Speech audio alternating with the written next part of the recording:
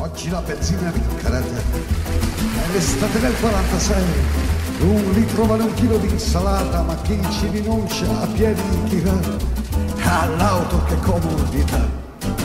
Sulla Topolino Amaranto vai, siedimi accanto che adesso si va. Se le lascio sciolto un po' la briglia mi sembra una briglia.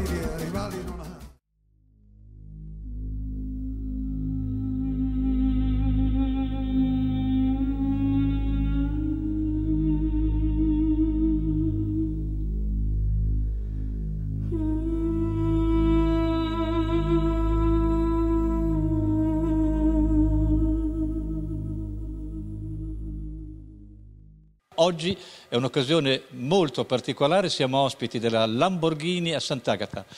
Il signor Balboni, che è un collaudatore che dal 1968 era qui a collaudare questi meravigliosi motori della Lamborghini, ci affiancherà per fare un po' la storia di questa splendida azienda italiana. Lamborghini inizia eh, subito dopo la guerra a trasformare dei mezzi militari in trattori eh, agricoli. Ha molta fortuna, è molto abile naturalmente, riesce poi a fare una fabbrica di trattori poi eh, si espande assieme anche ai fratelli a altre fabbriche di bruciatori, di altre, altre attività, tutte connesse. Quindi riesce ad, ad accumulare diciamo, anche una certa fortuna economica e naturalmente la sua passione le automobili. Aveva già corso una mille miglia prima della guerra con una Fiat 500 trasformata Inizia a fare queste autovetture, naturalmente eh, non, non, qui il primo modello o i primi modelli non ci sono, lo chiama 350 e lo fa in contrapposizione con Ferrari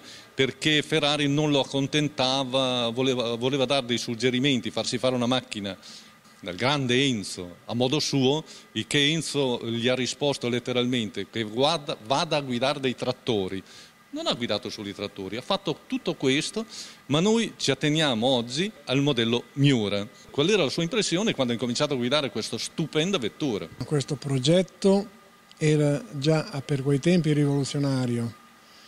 Infatti si trattava di un motore posteriore longitudinale dove praticamente in un metro di lunghezza per 70-80 eh, cm di altezza c'era motore, cambio, differenziale, tutto compreso.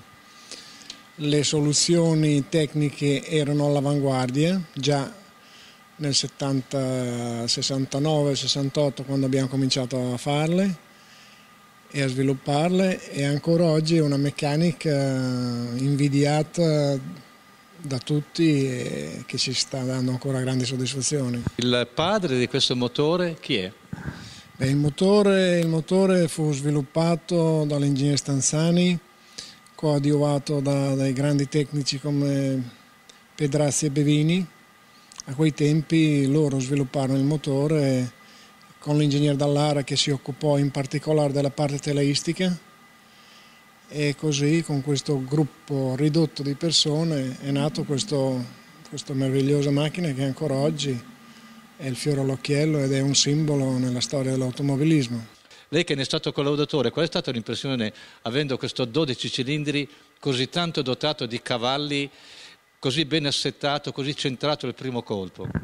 Beh, diciamo che lo scopo principale era quello di avere una vettura a di dimensioni ridotte, una vera sportiva, per cui eh, questi, questi, progettisti hanno avuto questa idea meravigliosa che era stata quella di diciamo, tenere eh, il gruppo propulsore estremamente piccolo, naturalmente le potenze sono quelle conosciute nonostante le dimensioni, e avere una macchina estremamente compatta e i pesi ripartiti in modo ottimale, diciamo che al posteriore abbiamo il, il 65-70% e sul davanti praticamente i serbatoi della benzina, eh, altri accessori equilibrano la vettura in un modo non ottimale ma sicuramente molto molto buono. Beh, questo motore è il motore a 12 cilindri V di 60 gradi, è un 4 litri di cilindrata, 3929 esattamente. All'inizio le prime versioni erano mm, sui 360 cavalli, Poi dopo abbiamo mm, variato un po' qualche cosa, migliorati gli assi e cami, la carburazione, i carburatori stessi e abbiamo raggiunto potenze di 375 cavalli. Certo questa macchina qui già quando si sa sentir parlare di 375-380 cavalli era una cosa che faceva in un certo senso rabbrividire, pensare di tenerli stretti in un certo senso con un telaio che era quello che era i freni, le gomme di allora, sa, paragonate ai, diciamo, ai, riferimenti che abbiamo oggi, c'è proprio da dirci o da dirsi che è stato veramente un grande, un grande successo. Nel 1966 questa vettura viene presentata al Salone di Torino, priva di carrozzeria. Ricordiamo che allora avevano, avevano eh, collaborato con eh, la Lamborghini eh, dei disegnatori del calibro di Scaglione il mondo viene sorpreso dall'uscita di, questa, di questo modello con motore posteriore con un 12 cilindri e questo dà molto, eh, molto, da fare anche perché è la macchina in quel momento più veloce con i suoi 280 km all'ora ed è anche la più eh, bella e soprattutto col motore posteriore. Ricordiamo che allora c'era, oltre alla Ferrari, motore anteriore naturalmente. Balboni, come si viveva all'epoca quando lei è entrato in azienda come collaudatore questa rivalità con la casa di Maranello che penso tuttora sia viva in voi perché come tutte le aziende del calibro della Lamborghini, così la Ferrari, la Maserati, c'è un po' un eh, motivo di affezione molto particolare da parte di chi ci lavora. Tendete tutti a sentirlo un po' come la vostra famiglia. Qua generazioni di appassionati, non solo di tecnici valenti, ma di appassionati nel vero senso della parola, ci lavorano. Quindi penso che nello, nello spirito vostro ci sia un po' questa rivalità, ancora sentita, ma all'epoca com'era? quando la Lamborghini ha cominciato ad affermarsi e soprattutto quando è uscita la Miura abbiamo dato fastidio a molti qua intorno ed era un, ed era un piacere, le devo dire, andare in giro qui e soprattutto avevamo la tendenza ad andarle a provare dalle parti di Maranello, non mi dica. Dalla parte qui, eh, di là dal fiume diciamo noi, no? ed era, ed era, molto interessante. Dovete a stuzzicare la concorrenza. Sì, trovavamo qualcuno alla strada che provava a starci dietro sicuramente. E come si metteva la faccenda? Beh, le dico che è stato divertente in molti casi. Con la genialità, tra parentesi, e l'incoscienza, si circondò delle menti più geniali dell'epoca. Giotto Bizzarrini, Ingegner Dallara, Paolo Stanzani, Giulio Alfieri, Franco Scaglione, Nuccio Bertone. Questo era lo staff per quanto riguarda una parte dello staff naturalmente, senza dimenticare le maestranze, gli operai, i dirigenti, i collaudatori, che portarono questa vettura ad essere conosciuta ancora di più la Lamborghini in tutto il mondo.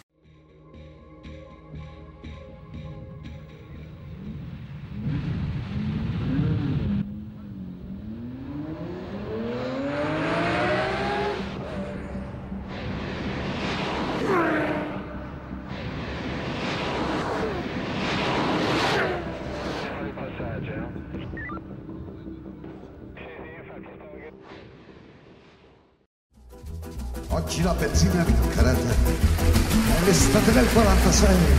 Un litro vale un chilo di insalata, ma chi ci rinuncia a piedi chi va? All'auto che comodità. Sulla Topolino Amaranto vai, siedimi accanto che adesso si va. Se lascio sciolto un po' la briglia mi sembra una briglia.